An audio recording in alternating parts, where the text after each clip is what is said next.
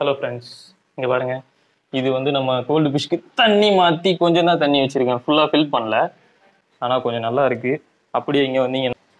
இதுக்கு வந்து நம்ம நேற்று தான் சிக்கன் போட்டோம். அதனால் இன்னைக்கு ஒன்றும் ஃபீடு இல்லை. ஓரளவுக்கு அழுக்காக இருக்குது இது நெக்ஸ்ட்டு வந்து நம்ம வாட்டர் சேஞ்ச் பண்ணுறப்போ அந்த வீடியோவில் நான் உங்களுக்கு இது காட்டுறேன். ஸோ இது வந்து நம்ம அலிகேட்டர் வந்து ஒரு ஒரு வாரமாக சோறு போடாதனால ரொம்ப காஞ்சி கிடந்தாப்புல.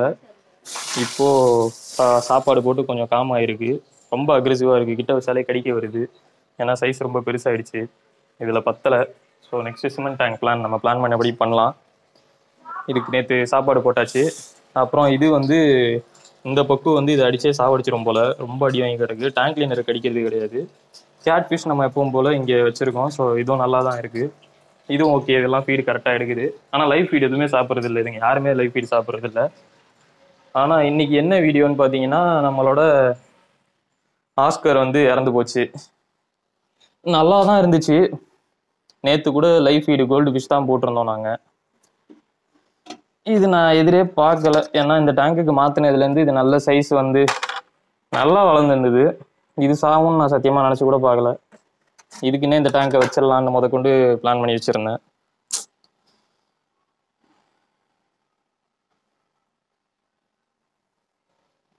இது எதனால அப்படின்றது எனக்கு நான் சுத்தமாக புரியல. இதை பாருங்க சைஸை நம்ம இது எத்தனை வாங்கணும்னு உங்களுக்கு தெரியும். ஜான் ஃபர்ஸ்ட் வாங்கியிருந்தோம் பார்த்தீங்களா அடிலாம் ஒன்றும் போடல. அது என்னன்னு தெரில நல்லபடியாக தான் இருந்தது. ஆக்சிஜனோ எந்த பிரச்சனையுமே கிடையாது. ஆனாலும் இது இப்போது இறந்து போச்சு. மற்றபடி இந்த டைகர் ஷால்னோஸ் பார்த்தீங்கன்னா ஒரு எவ்வளோ நிறைய கோல்டு விஷ் போட்டிருப்போம். ஆனால் எல்லாத்தையுமே காலி பண்ணி அங்கே பாருங்கள் இதுவும் பள்ளி மாதிரி வந்தது நம்ம கிட்ட வயிற்ற பார்த்தீங்கன்னாலே தெரியும். நல்ல க்ரோத்து நல்லாவும் சாப்பிடுது. ஜெயின் கோரா சொல்லவே வேணாம். இப்போ நான் ஜெயின் கோராக்கு தான் இந்த டேங்கை ரெடி பண்ணி கொடுக்கலான்னு இருக்கு.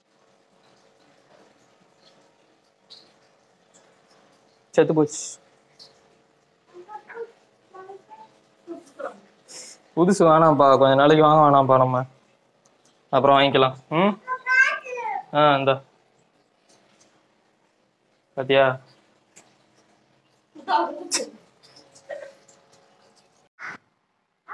ஸோ ஃப்ரெண்ட்ஸ் இந்த டேங்க் பார்த்தீங்கன்னா இதுக்கு மேலே நம்ம திரும்ப உட்காந்து வெளியில் எடுத்து வாஷ் பண்ணி கம்ப்ளீட்டாக அதுக்கப்புறம் ரெடி பண்ணி நம்ம ஜெயின் குரா கொடுத்துருவோம். ஏன்னா இது கொஞ்சம் சைஸ் ஆயிடுச்சு பார்த்தீங்கன்னா தெரியும். இதுக்கு வந்து இந்த டேங்க் இப்போ பத்தில் சின்னதாக தான் இருக்குது அதனால் இதுக்கு வந்து இந்த டேங்கை கொடுத்துட்டு இந்த சின்ன டேங்க்கில் வேணால் நம்ம வேறு எதனா சும்மா கப்பி மாலி அந்த மாதிரிலாம் எதனா ட்ரை பண்ணலாம். இது டைகர் ஷால்மஸ் பார்த்தீங்கன்னா உங்களுக்கு தெரியும். அதுக்கிட்ட போனால் பயப்படும் அவர் வந்து நைட்டு மட்டும்தான் ரொம்ப ஆக்டிவாக இருப்பாப்புல. மற்ற டைம்லாம் அந்த மாதிரி தான் சொங்கி மாரி உட்காந்துருப்பாரு மற்றபடி ஆனால் வேற லெவலில் ஆனால் அட்டாக் பண்ணுதுப்பா கோல்டு ஃபிஷ் எல்லாம். எவ்வளோ கோல்டு ஃபிஷ் போட்டிருப்போம் தெரியுமா? வெறும் ரெண்டு நாள் தான். அடித்து நவுத்திடுது. பேசாமல் இதுக்கு கோல்டு ஃபிஷ்ஷை வாங்கி இந்த டேங்க்கில் போட்டு இதுக்கு கொஞ்சம் கொஞ்சமாக சோறு போட தான் வச்சுக்கணும் போல்.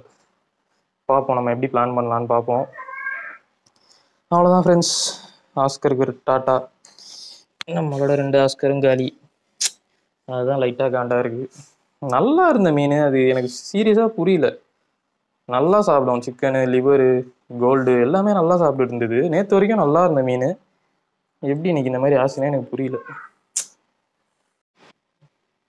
நம்ம இப்போ இதில் இருக்க தண்ணி எல்லாம் ட்ரைன் பண்ணியாச்சு. எடுத்துகிட்டு போய் டேங்க்கை க்ளீன் பண்ண வேண்டியதான் வாங்க வெளில எடுத்துடலாம்.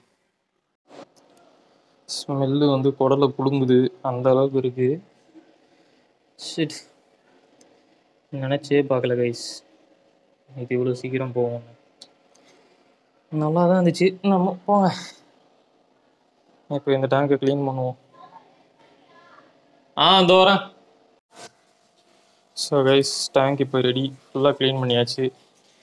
இங்கே பார்த்தீங்களா பல்சின் ஆயிடுச்சு. ஸோ நம்ம வந்து இப்போதைக்கு இதை எடுத்து திரும்ப இருந்த இடத்துலயே வச்சுட்டு தண்ணி மட்டும் ஃபில் பண்ணி வச்சிடுவோம் இப்போதைக்கு நான் கோரா இதில் விடுறதா இல்லை. ஒரு ரெண்டு நாள் போட்டோம். அதுக்கப்புறமா நம்ம தண்ணியை திரும்ப ட்ரெயின் பண்ணிட்டு வேறு தண்ணி ஏற்றிட்டு அதை இதில் மாற்றி விட்ருவோம் இது வந்து நம்ம ஆஸ்கர் வச்சிருந்த ஹைடிங் ஸ்பாட்டு உரமாக போட்டாச்சு. சரி இது இந்த இடத்துலயே வச்சிரும் ஸோ கைஸ் அவ்வளோதான் க்ளீனிங் முடிஞ்சிருச்சு. நம்ம இப்போ தண்ணியை ரீஃபில் பண்ணிகிட்ருக்கோம் ஸோ தண்ணி ஃபுல்லாகட்டும் மோட்ரு இப்போதைக்கு இதில் இந்த ஸ்டோன் போட்டு தான் ஆகணும். அப்போ தான் இந்த ஸ்டோன் ஓடும். ஆ, ஒரு மோட்டரில் தான் ரெண்டுமே வேலை செய்யுது. பார்ப்போம் ஜெயின் கோரா இதில் போட்டுருவோம்.